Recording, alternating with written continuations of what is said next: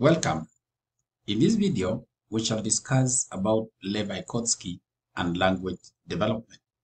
My name is Dr. Kibet from the Center for Open Distance and E-Learning, Machakos University. What did Lev Vygotsky say about how children develop language? Language is a social concept that is developed through social interactions. So according to Lev Vygotsky, who was a 20th century Soviet psychologist, language acquisition involves not only a child's exposure to words, but also an independent process of growth between thought and language.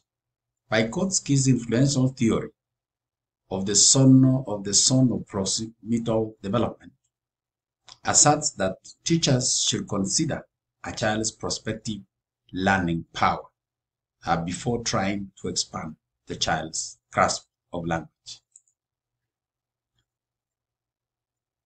Lev Vygotsky theory of language development focused on social learning and the zone and the zone of pro proximal development, that is the ZPD.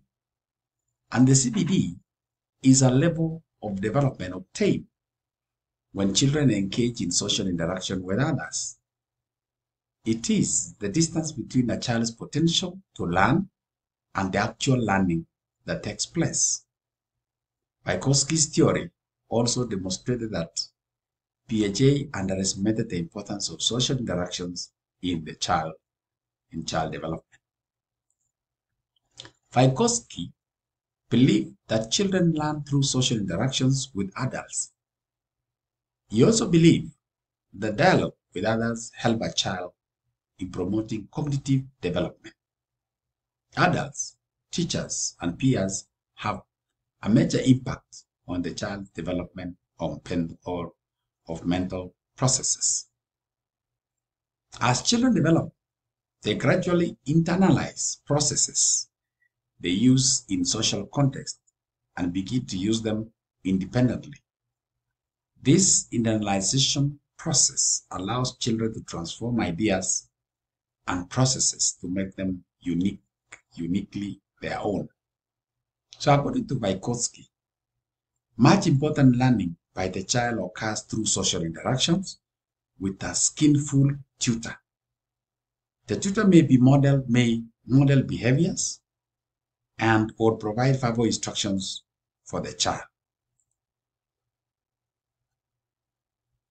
He believed that children use language to plan, to guide, and monitor their behavior. Children first use language to develop ideas socially, which are then internalized, and first children think out aloud, which slowly becomes internal private speech, which they use to organize thoughts. Children learn through social and cultural experiences. Interactions with peers and adults can help with this process. While interacting with other children, while interacting with others, children learn the customs, the beliefs, and the language of the culture. They can also perform more challenging tasks when assisted by a more advanced and competent person.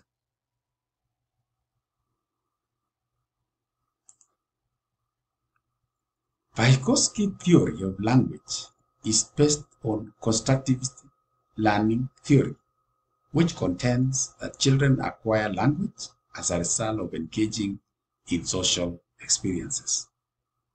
Through social and language interaction, older and more experienced members of the community teach young children and less experienced members the skills, the values, and knowledge needed to be productive members of that community.